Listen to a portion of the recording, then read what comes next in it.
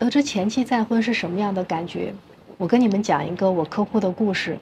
他老婆同意和他离婚当天啊，他欣喜若狂，觉得自己终于自由了，终于可以不用再看这个女人的脸色，不用听她的唠叨，不用跟她各种解释，自己终于可以和那个女人在一起了。离婚当晚，他跟哥们儿约了去唱歌、喝酒、洗脚。他在洗浴中心舒舒服服的睡了一晚上，他觉得自己的好日子终于来了。他几个哥们儿呢，喝多了就拍着他的肩膀。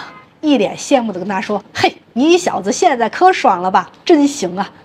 快十二点的时候，有两个哥们儿的老婆打电话催他们赶紧回家。他呢还嘲讽的冲他们说了句：“嘿，赶紧回去吧，回去哄媳妇儿吧。”跟那个女人住在一起第一年，他觉得自己特别的快乐，上班下班想在家里做饭了做一些，不想做饭了就出去吃。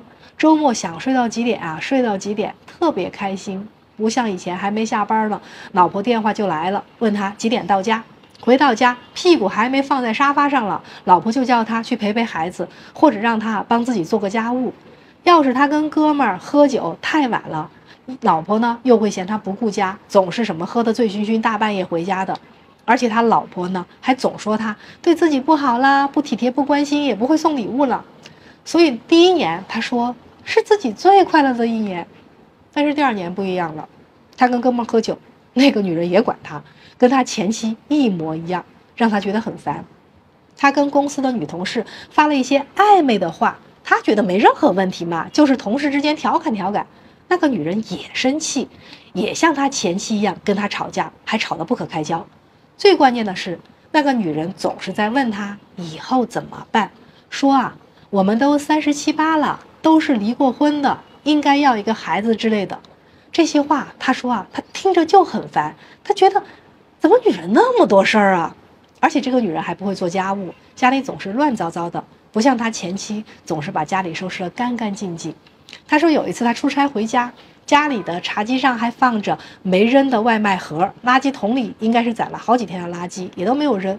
可是那个女的会打扮得漂漂亮亮的跑过来，搂着他的脖子就说：“哎呀，老公你回来了。”他的衣服呢，特别是衬衣领，他前期都会用手搓，就算他再怎么出汗，领子上也从来没有过黄渍。可现在他的衣服，那个女人都是扔在洗衣机里，裤子、外衣、内衣、袜子、内裤，从来不分颜色，全在一起洗。好几次他的衣服都被染色了，不能要了。我就问他，我说你想过你前妻吗？他说没想过，是假的。分开两年多了。他觉得自己过的就不叫个日子，跟这个女人住的就不叫个家，比狗窝还不如。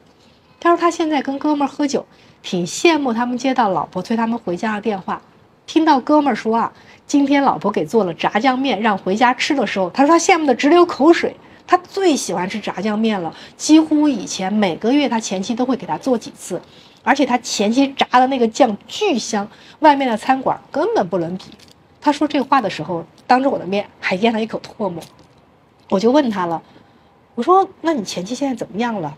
他就叹了一口气说：“唉，前段时间我刚知道他再婚了。那个男人啊，跟他前妻一样，是一家公司的普通职员，收入比他前妻高一些，人长得呢就很一般般，家庭条件也不太好。再加上他的父母常年病重，所以那个男人是一直没有结婚。后来父母陆续去世了。”他才开始张罗给自己找媳妇儿，跟他前妻呢是朋友介绍的，对他前妻就特别好。有一次他开车在路上还看到他俩了，他的前妻挽着这个男人的胳膊，然后两个应该在遛弯，笑得特别的幸福。他说我好多年都没见过我前妻那个笑容了，他说那个笑容跟刚跟他结婚的时候笑容一模一样。所以你问我得知前妻结婚，男人会有什么感觉？你们还不如问我，没珍惜那份感情，失去后会不会后悔？当然会后悔了。